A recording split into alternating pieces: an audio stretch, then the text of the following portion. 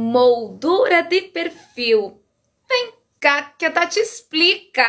A moldura de perfil é um brinde, é um mimo que o Quai disponibilizou para todos os usuários da plataforma. Existem três tipos de moldura que são as mais tradicionais: moldura em relação ao número de seguidores, moldura em relação ao número de vídeos publicados e uma moldura em relação ao número de vídeos publicados na semana.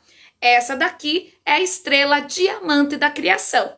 Para você ter acesso às molduras, basta você ir no seu perfil na página principal, clicar em editar perfil e daí então você vai ser encaminhado para essa página aqui. Você vai clicar em moldura de perfil. Em seguida, você será encaminhado para uma super página onde existem várias molduras disponíveis para você, de acordo com o teu número de seguidores, trabalhos publicados na semana e trabalhos publicados durante toda a sua vida aqui no Quai.